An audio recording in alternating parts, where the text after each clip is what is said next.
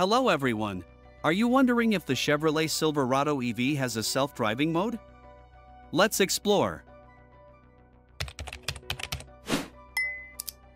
The Chevrolet Silverado EV, an all-electric version of Chevy's popular pickup truck, is equipped with a variety of advanced driver assistance systems. One of the standout features is GM Super Cruise, a hands-free driver assistance technology. Super Cruise allows for hands-free driving on compatible highways, using a combination of adaptive cruise control, lane centering, and GPS data. This system provides a high level of automation but is not considered fully autonomous. Super Cruise requires the driver to pay attention to the road and be ready to take control if necessary. The system uses a driver attention monitoring system to ensure the driver is engaged.